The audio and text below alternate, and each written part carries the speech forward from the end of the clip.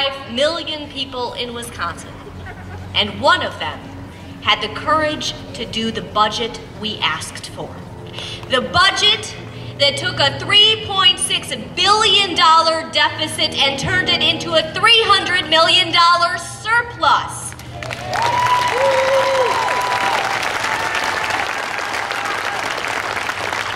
The budget that makes tough choices, like you and I have to do in our small businesses and in our families every single day. The budget that freezes your property taxes for two years.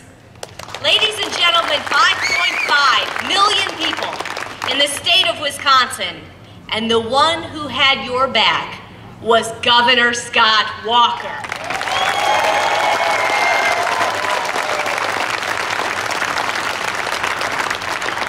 Now, let's not forget about our friends in the legislature because last year, clearly you had a choice. You had a choice and you put Republicans in charge of the governor's office, of the Wisconsin State Assembly, and the Wisconsin State Senate. You put us in charge.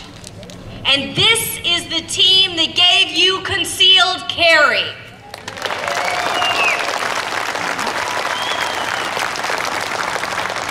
You put us in charge, and this is the team that gave you photo ID.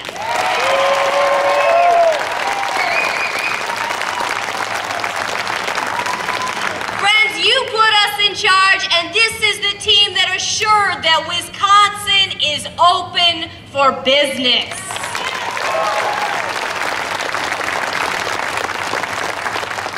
And the fun part is we stand in very stark contrast to our neighbors to the south, Illinois. You know that nearly every state in the nation started this year in fiscal crisis. Some, like Governor Walker, chose to handle that fiscal crisis without raising taxes. Others, like Governor Quinn from Illinois, have not met tax increases they do not like.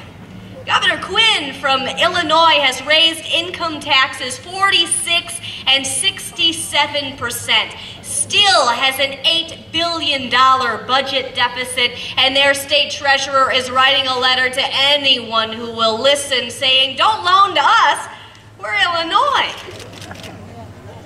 So, when Governor Quinn decided to sign another tax increase into law, a tax increase called the Amazon tax, a tax increase that would have cost some businesses between 20 and 50 percent of their revenue, I decided I would call those businesses and offer them greener pastures in which to grow jobs.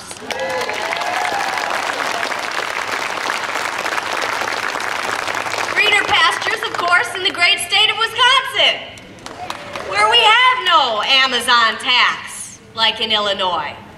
And we have no prescription drug tax like they have in Illinois, no 9.75% sales tax like they have in Illinois, no estate tax like they have in Illinois, no food for consumption tax like they have in Illinois, no energy for manufacturing in the winter tax like they have in Illinois, and no Chicago Bears who collapse in epic football games like they have in Illinois.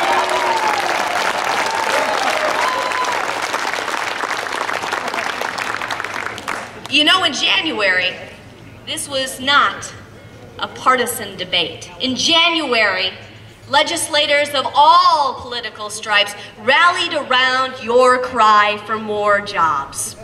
Less than a month into our new administration, well, a lot of governors around the country were just being sworn in and finding the, the bathrooms in their state capitals.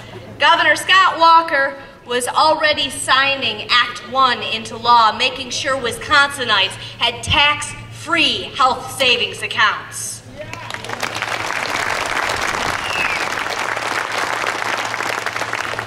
Governor Walker and our legislature made sure that we had a Department of Commerce that truly was faster, smarter, better than our neighbors in the upper Midwest. Governor Walker and our legislature listened to what you said about taxation and regulation and litigation and changed our economic development climate so much that in the Chief Executive Magazine survey, when we were number 41 in the nation under the previous administration as far as best places to do business. We soared to number 24, the fastest increase in status in that survey's entire history in the state of Wisconsin.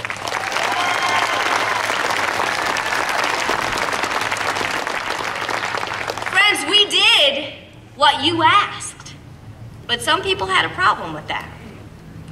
Our brave legislature, legislators faced intimidation, aggression, bongos, bullhorns, protest signs that would make you blush. And they stood by you. Some of them knew that by voting on the budget repair bill, the bill that simply asked our government employees to make some of the same sacrifices we had made during the darkest hours of our economic crisis in the private sector, some of them knew that by taking that vote, they would not come back. But they were willing to risk it all because they knew that in order to lead, they must first serve. In order to do a budget that did not raise taxes, the broken budget had to be repaired.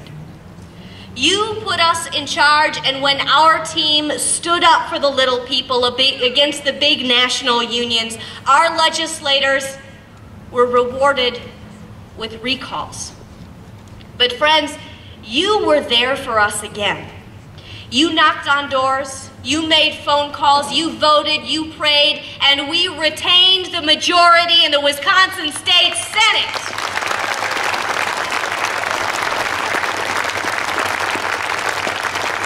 The will of the people was not defeated, but strengthened and it was renewed. And if big labor, and the progressive activists and the paid protesters want to make another run at us, we're going to prove it to them again and again and again that the will of the people will not be steamrolled by special interests.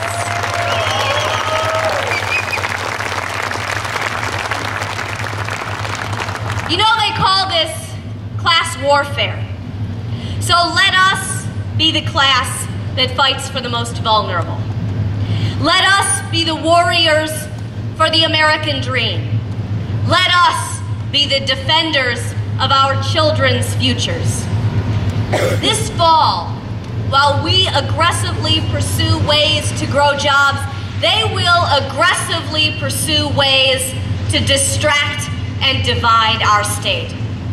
Don't let them. The budget repair bill worked. The budget repair bill worked from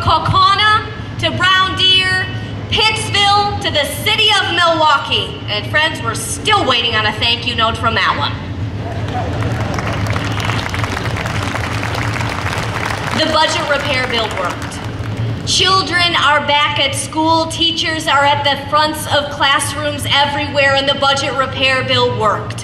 When we go to our mailboxes and we open our property tax bills in December, we will open them and we will say the budget repair bill worked. You elected us and it worked.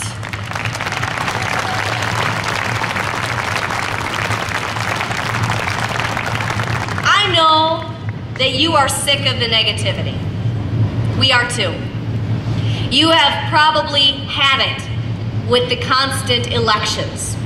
We wish we could just focus on the jobs, but we need you. We thank you for electing us, and we thank you for what you are about to do to fight for what is right once again. There is no better time to have this conversation than on the eve of the anniversary of September 11th.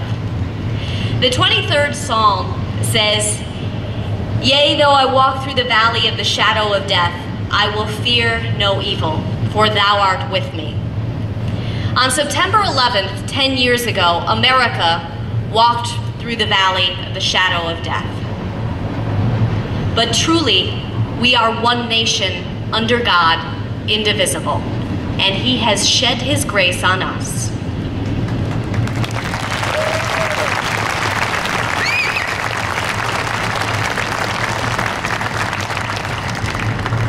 and so we will fear no evil. And so today I urge you to continue to fight for the future of the sons and daughters of the great state of Wisconsin. I ask you to join me on RebeccaForReal.com. I ask you to join me tomorrow on Wisconsin Public Television as Wisconsin remembers 9-11 at 7.30 tomorrow morning. And I ask you to join me in going home tonight and thanking God for the privilege it is to be an American. Thank you. God bless you. God bless the state of Wisconsin, and may God bless the United States of America.